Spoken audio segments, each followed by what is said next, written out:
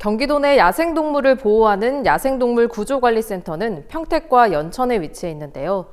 이곳에서 아이들을 대상으로 하는 야생동물 생태보존 현장 교육을 실시합니다. 서문영 기자가 다녀왔습니다. 아이들이 수의사 가운을 입고 밀렵군의 총에 맞은 야생동물을 치료해주고 있습니다.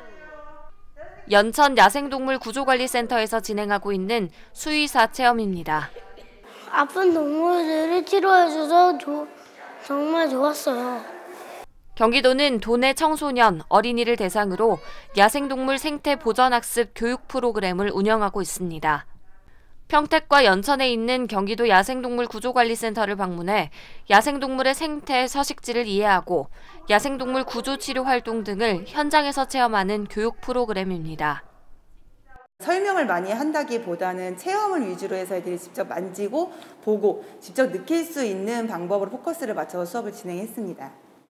야생동물에 대한 관심들도 높아지고 있어요. 그래서 어린 친구부터 뭐 중고등 학생 친구들까지 전시관에 와서 많이 이야기를 나누는 것 같습니다.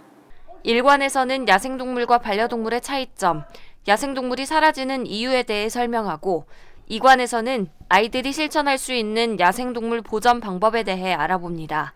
3관에서는 직접 수의사가 되어 구조된 야생동물의 치료와 재활을 돕고 자연으로 돌아가는 과정을 교육합니다. 마지막으로 야외 교육 프로그램을 통해 아이들이 배운 내용을 토대로 직접 야생동물을 보고 느낄 수 있는 시간을 가집니다.